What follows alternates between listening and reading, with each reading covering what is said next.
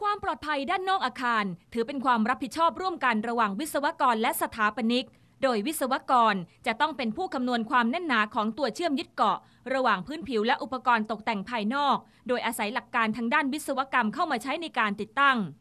ส่วนสถาปนิกจะเป็นผู้ดูแลเรื่องวัสดุที่ใช้ในการตกแต่งภายนอกอาคาร เพื่อเพิ่มความสวยงาม มีทั้งวัสดุประเภทไม้ระแนง เหล็กอย่างบาง Viva Board และ Smart Board เป็นต้น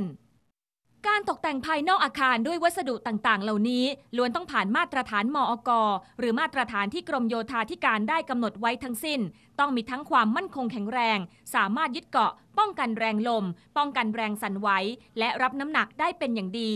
ซึ่งส่วนใหญ่ผู้ประกอบการจะนิยมใช้วัสดุที่มีน้ำหนักเบา เพื่อความสะดวกและง่ายต่อการนำขึ้นไปติดตั้ง วัสดุที่นิยมใช้กันตอนนี้ในกลุ่มผู้ประกอบการก่อสร้างอาคารขนาดใหญ่ คือ Viva Board วัสดุที่มีน้ำหนักเบา แต่มีความแข็งแรงในระดับหนึ่ง การติดตั้งจะต้องมี frame เหล็ก และ seal ขอบด้วยซิลิโคน ซึ่งการนำมาติดตั้งใช้งานก็มีข้อจำกัดอยู่ที่ว่า เมื่อใช้ไปนานๆ ก็อาจเกิดการขยับตัวของ frame ทำให้คุณสมบัติการต้านแรงลมไม่ดีพอ ตัวน็อตหรือสกรูก็จะคลายตัว พอคลายตัวก็มีโอกาสที่วัสดุนั้นๆ จะหลุดร่วงลงไป ก่อให้เกิดอันตรายต่อผู้คนที่สัญจรอยู่ด้านล่างอาคาร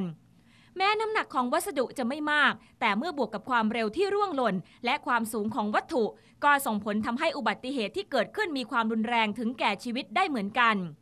เช่นเหตุการณ์ที่เกิดขึ้นที่ห้างเซ็นทรัลพลาซ่าขอนแก่น กับแผ่นยิบซ้ำขนาด2คูณ2เมตรที่หล่นลงมา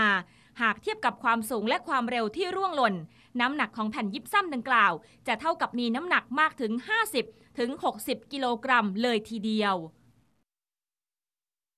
แต่ว่าจริงๆแล้วถ้าจะให้รอบคอบหน่อยเนี่ยก็ฝากไว้ว่ามีโอกาสหรือว่ามีช่วงระยะเวลาในการที่จะตรวจสอบนะฮะสองสามปี หรือว่าช่วงจังหวะที่มีลม มีลมมีเหตุการณ์อะไรที่รุนแรงที่ลมมาประทะอะไรแรงๆสักครั้งหนึ่งเนี่ยควรจะควรจะควรจะไปขัน ควรจะไปตรวจสอบว่ามันมีตรงไหนหลวมอะไรอยู่บ้างอะไรเงี้ยตรวจสอบสักหน่อยก็ผมก็ว่าก็จะทำให้เกิดความมั่นใจกับตัวความแข็งแรงมากขึ้นนะฮะ ดังนั้นมาตรฐานความปลอดภัยและการป้องกันเหตุร้ายที่อาจเกิดขึ้น วิธีที่ดีที่สุด นั่นก็คือการหมั่นตรวจสอบความแข็งแรงของวัสดุตกแต่งอาคาร เช่นเดียวกับมาตรฐานการตรวจสอบระบบป้องกันอัคคีภัยภายในอาคาร ที่มีข้อบังคับอย่างน้อยปีละหนึ่งครั้ง